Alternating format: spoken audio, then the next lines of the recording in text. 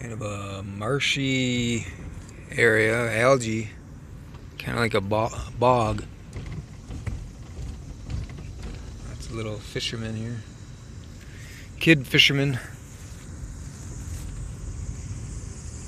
This is the south end of Oshkosh, or south end of Winnebago Lake. Fond du Lac, North Fond du Lac.